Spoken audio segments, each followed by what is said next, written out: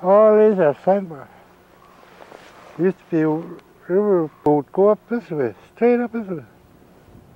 Now all that is river, gravel. The Athabaskan are indigenous people. They have survived through subsistence living for thousands of years. They have faced hardships and have successfully developed a positive relationship with their environment. Time and again, the Athabaskan people have adapted to change in their region and have proven their resilience. Recent environmental influences from other parts of the globe have made it more difficult to continue a traditional lifestyle. Athabaskan people have recognized this change.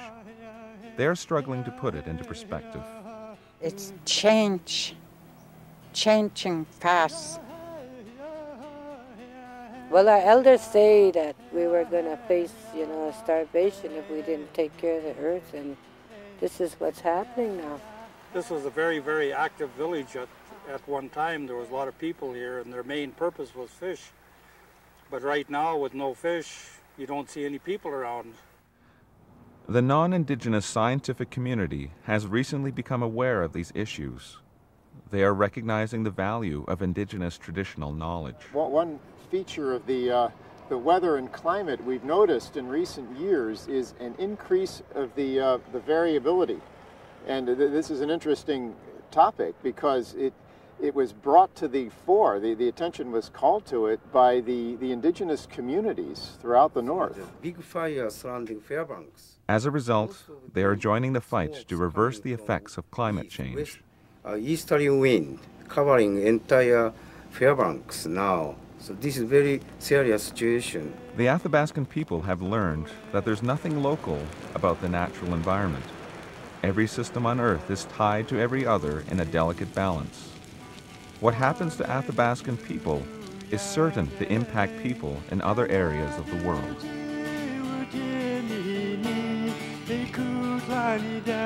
Canada's Yukon Territory is a land of extremes. It is home to a variety of climates and ecosystems. Much of Yukon is arid, a kind of cold climate near desert. The lowlands of the Arctic coast and alpine plateaus are tundra. Most of the land is hilly and mountainous, with some of the highest peaks and greatest ice fields in North America. The Athabaskan people have lived in the areas now known as Alaska and Yukon for thousands of years. Their culture is linked to the local environment.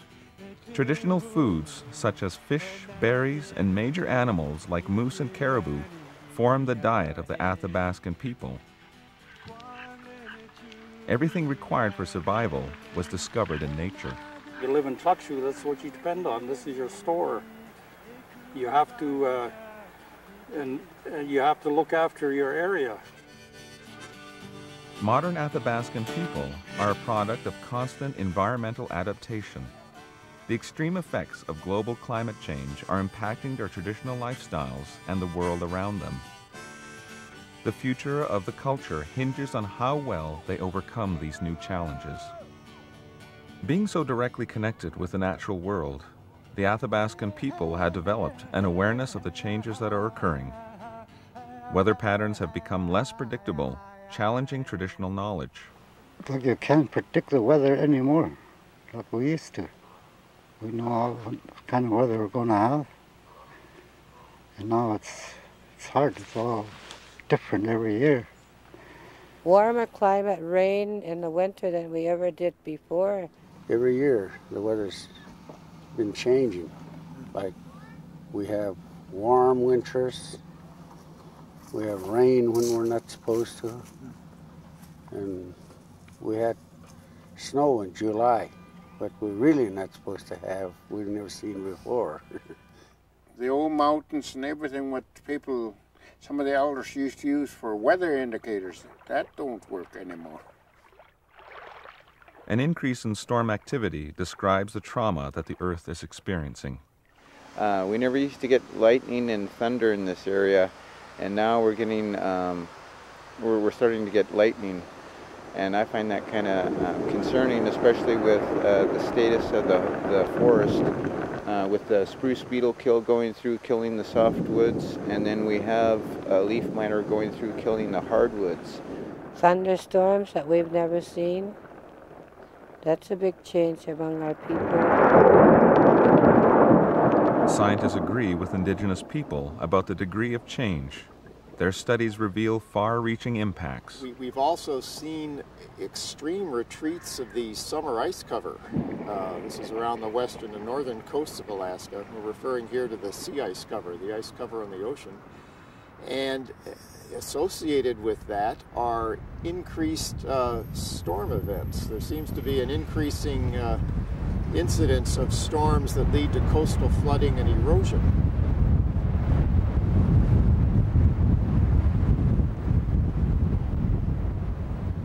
One of the most dangerous aspects of climate change is the power of the sun. A reduction of ozone and other atmospheric filters has exposed the Earth and its inhabitants to dangerous levels of solar ultraviolet radiation. In the ice field itself, um, from the time we started up there until now, when you do get hot periods, it's very intense heat. It's really hot. Like you can get burnt up there very, very easily without wearing long sleeve coats and, and some kind of sunblock or sunglasses and hats. Um, you can get completely fried in a very short time. There's a lot more people getting skin cancer around here because there's higher UV radiation. They, they, we've had warnings around here that we need to wear our sunglasses more because uh, the UV radiation out. The sun does not distinguish young from old.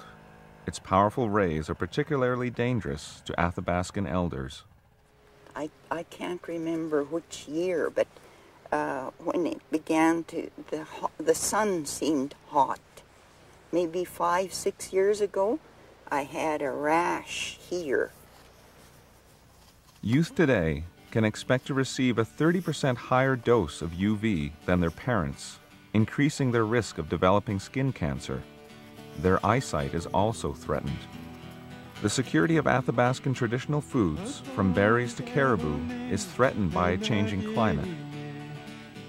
As the local ecosystem is disrupted, native plant and animal species risk disappearing springtime, a lot of caribou got killed by the ice too. You. You see a lot of dead caribou alongside the river the ice go. One time I see about over ten caribou, dead caribou alongside the river. Ice had them, uh, kill them. You look at the mountain goat in the back here, they moved entirely away from here because the uh, because the vegetation has grown too high for them and mountain goat are quite wary. They like to be up in the rocks. So they move away from the ranges. You know, there's a whole vast of changes taking place. Even your sheep back here, our people used to have sheep on both sides. And right now you haven't seen sheep here for the last three years. So your sheep have moved away from the entire area it's becoming more of a coastal influence here. Many water systems are warmer and contain substances that are leaching out of a melting permafrost base. Fish have difficulty adapting. The salmon are not coming back to the warm streams. They're looking for colder glacier-fed creeks that they can uh, uh, spawn in. They need a certain temp temperature of spring water to keep their eggs eggs going for the winter time. So, you know, all of these things play a play a real hectic role on the, on the uh, fish. Our salmon came in real early. That usually come in September month. It came in, uh, it already came in. Native species that still remain are often not of the same quality as they used to be and are not as plentiful. It seems to me that it don't taste the same it's just everything is different. The fish, I don't know, it's it's more like it's uh, been in the water too long. The fish is isn't like it, like it used to be. It's kind of soft. I don't know what's causing that.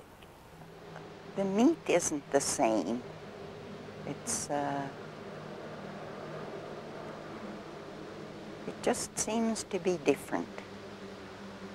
The salmon run was real low, and most of the fish we got this year was an they've full grown. Uh, most of the reds didn't come in, and uh, changes we see is that our fish uh, racks used to be full all the time. Three, four hundred fish drying at the time. Takes 40 fish to make a bale, and we're, we barely even made enough to, you know, make a couple of bales of fish per family. The shortage and poor quality of traditional foods has had the undesirable effect of forcing many Athabaskan peoples to shift their diet to store-bought foods. This increases the health risk to Aboriginal people. It may lead to illness such as diabetes and cancer. Athabaskan people are increasingly at risk of losing their hunting culture.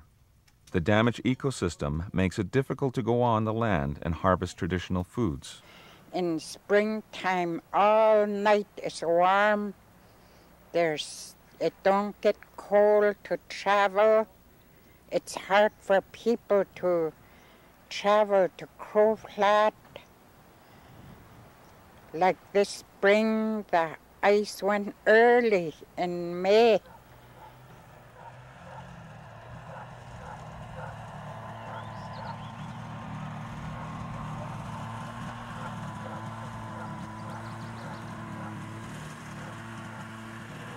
How are going to be able to get fish and game in the future? How are my kids going to be able to do it? The effects of climate change threaten the culture and lives of the Athabaskan people. At the root of this threat is the changing environment. While impacts on Aboriginal people may be local, a changing environment has an impact on the world at large. Glaciers are remnants of a bygone age when no trace of humanity was present in the world. These frozen giants from the past are now threatened with extinction through human activity. We know that climate is, is changing. On the other hand, we know that climate's always changed. It's never quite the same. But it seems that there is something more going on here. We hear about the shrinkage of the glaciers in the park, in Kluane National Park. We see here the ice patches. They're shrinking in size. And with that shrinkage, we're finding the artifacts, things that people lost when they were hunting hundreds of years ago, thousands of years ago.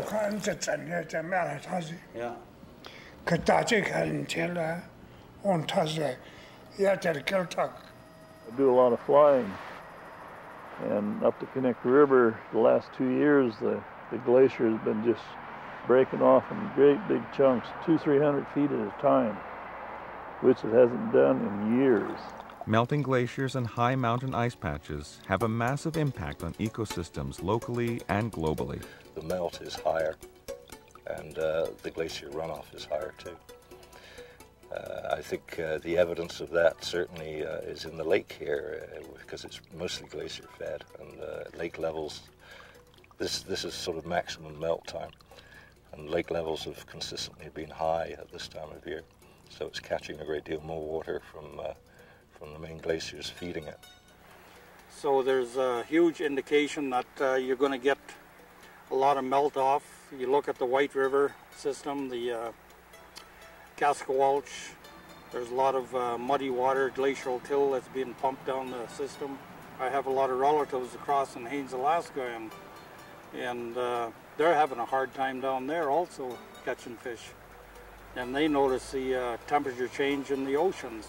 The runoff water affects fisheries and streams nearby, it also raises the surface levels of oceans around the world. We're seeing the retreat of glaciers on a fairly uh, wide basis through southern Alaska and even in the smaller glaciers up in the Brooks Range. One of the conclusions from the Arctic Climate Impact Assessment was that the Alaskan glacier melt is actually contributing substantially to the rise of global sea level. In fact, there are some estimates that the Alaskan glaciers may even be contributing more than the Greenland ice sheet, which is a much larger volume of ice. As glaciers disappear, the natural water sources of the Athabaskan people are threatened. And the glacier is melting more and more. The rivers, some of the big rivers are drying up. Uh, the people the human race got to find out where they're going to start getting water.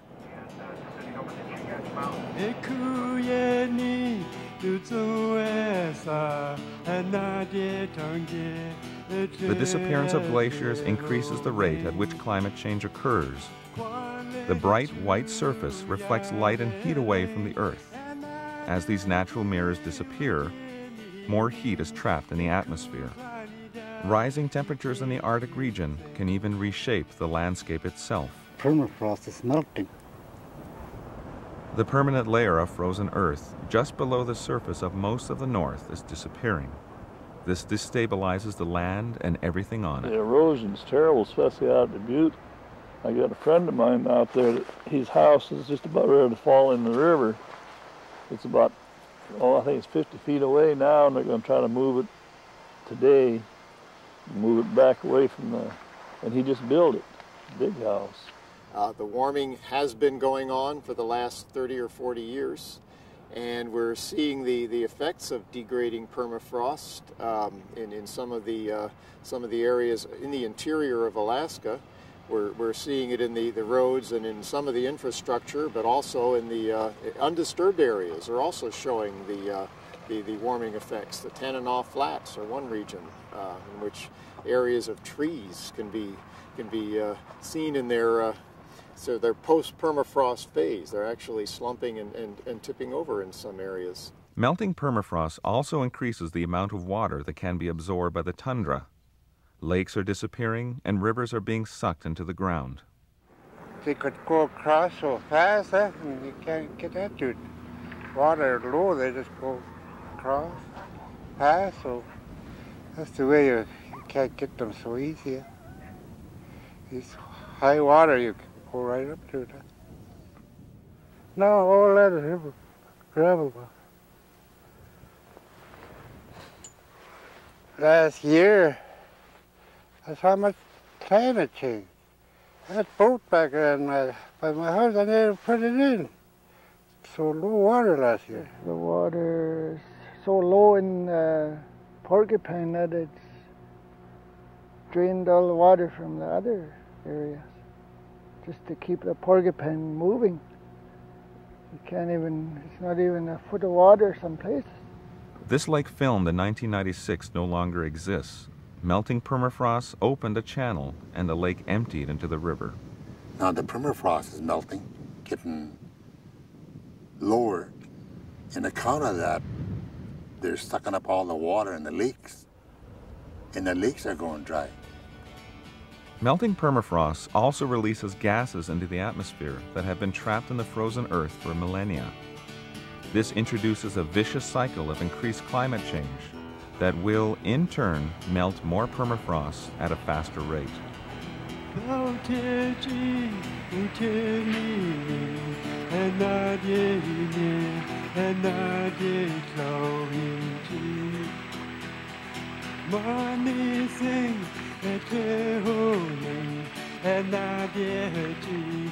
If permafrost is unique to the Arctic, even more unique are the Yukon's plants and animal species. The changing climate has already altered their habitat, forcing many species into new regions and reducing their numbers.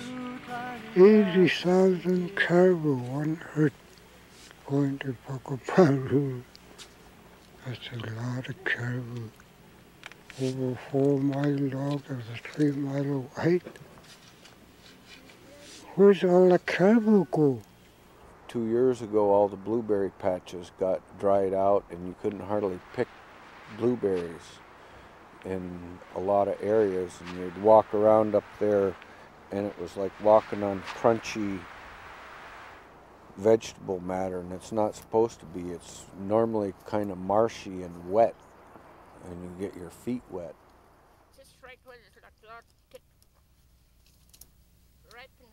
The warming climate invites new animals into the Arctic from more temperate climates, forcing out native species. This, what, 10 years back, they start coming in, somewhere around there. Some of the birds are disappearing too. Never hear them again. ptarmigans. I only seen four last time. Deer start moving north. And I guess the move, moose keep moving north too. Gophers, they were completely wiped out, and that's a major food for grizzly bears. Particularly distressing to everyone in the far north is the changing forest. New species are moving in, squeezing out the old. Brush everywhere now, where there used to be just tundra. So that's just like a rainforest coming up, you know. I know as a kid, when I came through this area here, I used to walk in from Dalton Post into Klukshu on the old, uh, on the old trail, Shawashay Tun they call it, and uh, now they call it the Dalton Trail. But that trail there used to be wide open. You could follow it easily, and it was wide open meadows all the way through.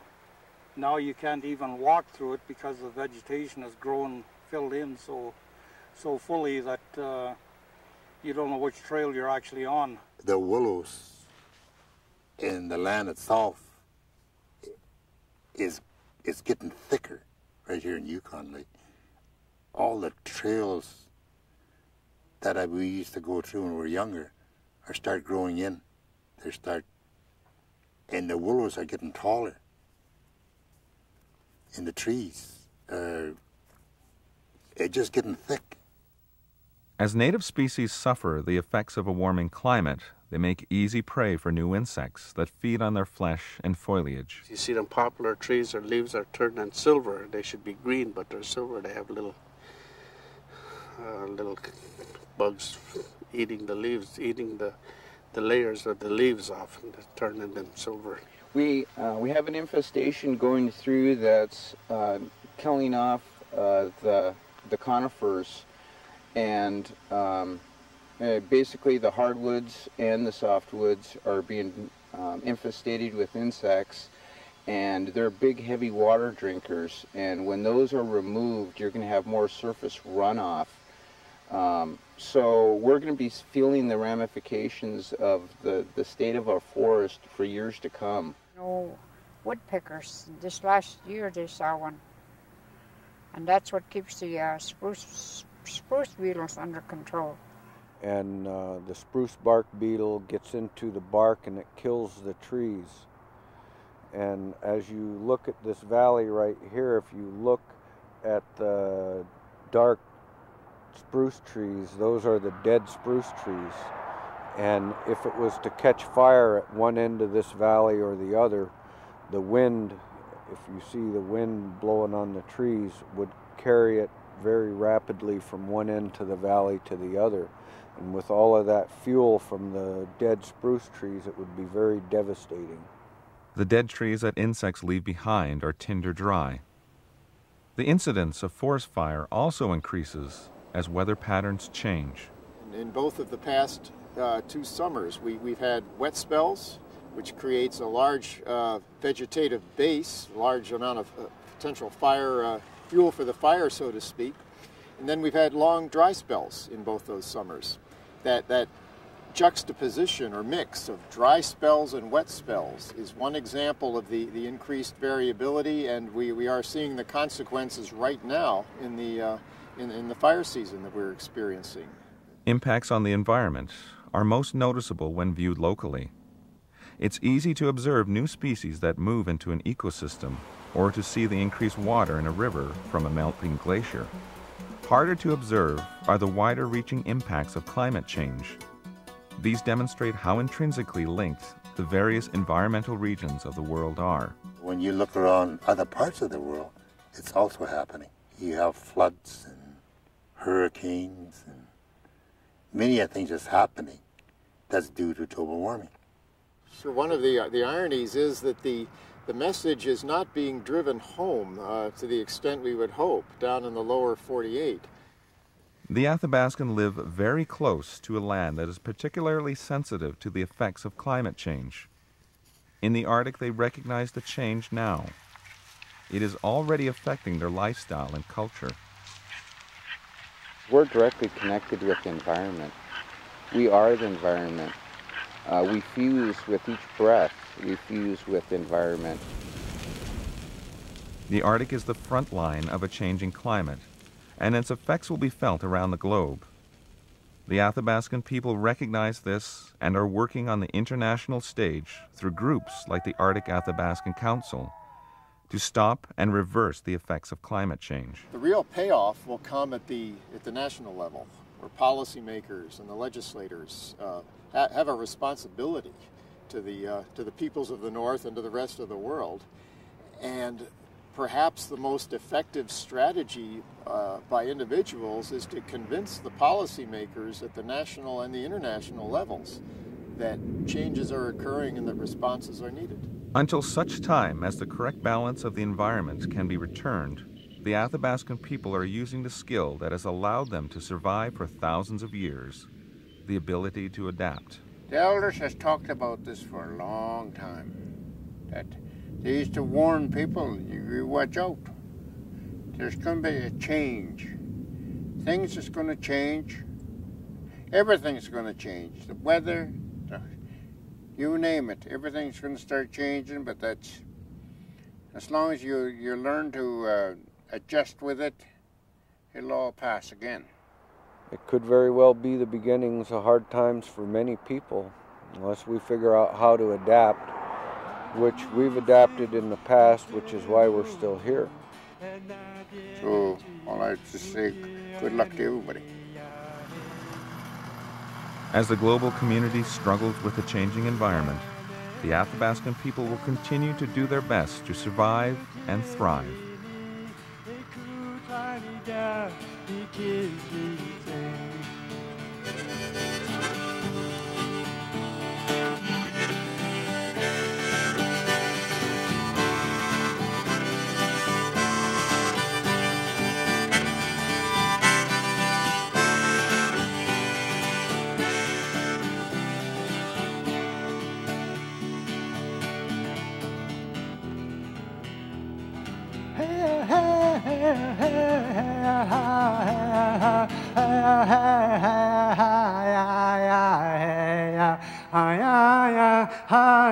Say ho chi ya ya hey